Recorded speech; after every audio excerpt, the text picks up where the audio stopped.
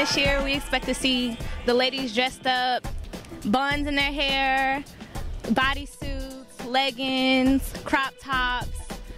And as far as the guys, a lot of guys are doing the fades, you know, the flat tops, all that type of good stuff. And you know, dreads are starting to become more hip. So I'm starting to see a lot of guys dreading their hair.